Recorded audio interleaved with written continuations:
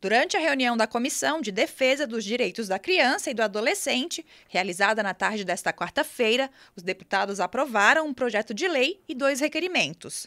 O projeto aprovado é de autoria do deputado Nilson Berlanda e altera a Lei 17.995, do Programa de Atenção às Vítimas de Estupro, com o objetivo de dar apoio e identificar provas periciais. O relator da matéria e presidente da comissão destacou a importância da aprovação do projeto.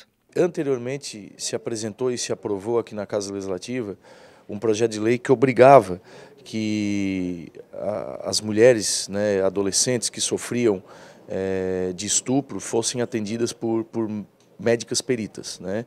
E, e tendo a, a, a, gente tendo conhecimento da, da dificuldade que o Estado tem, porque só tem 15 médicas para atender essa demanda, esse projeto acabou prejudicando né, a, a, as, até as pessoas que sofrem com isso, porque não tinha profissional suficiente para fazer esse atendimento, fazer toda esse, essa perícia que era obrigatório. Então, o projeto do deputado Nilson Berlanda é, tira essa obrigatoriedade e, com isso, é, faz é, com que o Estado possa dar a resposta mais eficiente para as pessoas que sofrem e, ou que sofreram com, com esse ato de violência. O projeto segue agora para votação em plenário. Já os requerimentos aprovados, um deles de autoria do deputado Pepe Colasso, solicita apoio da comissão para a realização do seminário estadual Adoção e Proteção Integral, organizado pelo Instituto Hope e a OAB de Santa Catarina. O evento acontece no dia 25 de maio.